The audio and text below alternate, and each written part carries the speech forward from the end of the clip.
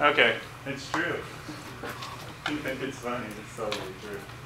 Um, anyways, I think it's funny too, honestly, but, um, so let's try this, uh, reaction here. Um, hopefully you guys can see already that this is different than the last reaction that we did. This is, first of all, a single replacement reaction, of course. Um, the last one, you guys re- remember, is a double replacement reaction?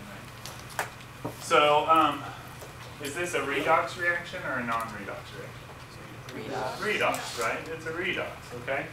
So hopefully you guys can see that, and I know that you guys can. So since it's a redox reaction, that means something has to be reduced and something has to be oxidized, right?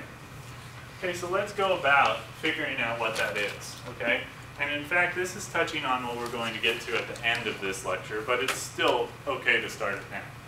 So the first thing we want to look at is what the two ions or the two metals have done, right? So what we're seeing here is magnesium is starting at a zero oxidation state, like that. And it's going to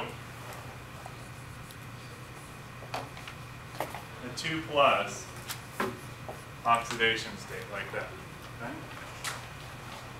The other thing that we see, hopefully, is that Cu starts as a 2 plus oxidation state.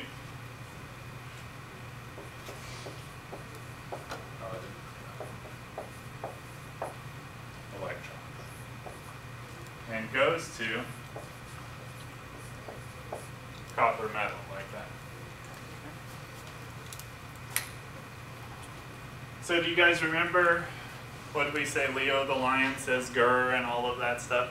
The easy way, a easy thing to remember, I always think, is when I look at these numbers, the one that gets smaller is the one that's reduced. Okay. So, which one of these is reduced? Copper. Copper gets reduced. Okay. So copper gets reduced.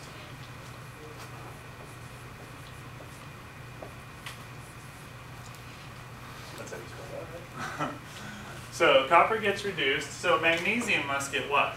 Oxidized. Oxidized. Okay. So they're opposite of each other.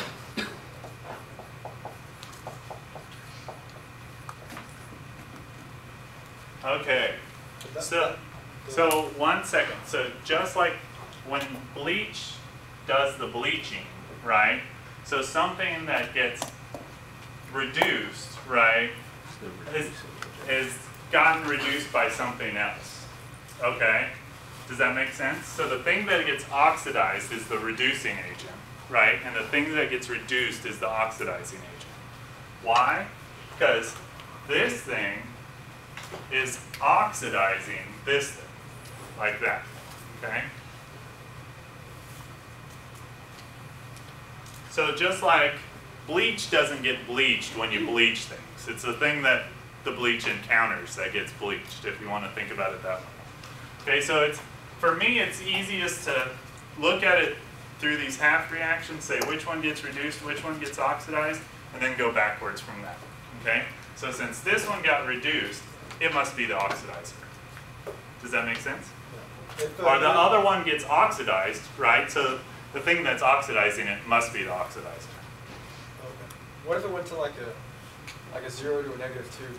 That's still be, still being reduced, right? Zero to a negative two, yeah, it's still being reduced, Okay. yeah.